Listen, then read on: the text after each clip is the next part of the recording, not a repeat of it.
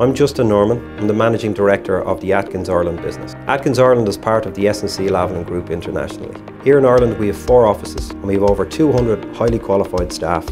We at Atkins are very excited to be part of this strategic project at Cork Airport. In order to deliver this project in the very challenging programme, we've drawn on our best technical teams across Atkins. Our design teams bring relevant experience and knowledge to the project, having delivered other similar runway rehab projects across Ireland, the UK and the other major international airports. All parties have worked really hard to achieve this challenging programme.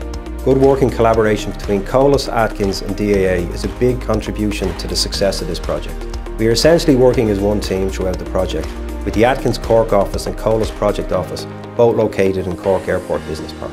We are very excited to work with Colas on this project, and in particular during the unprecedented times in the aviation industry.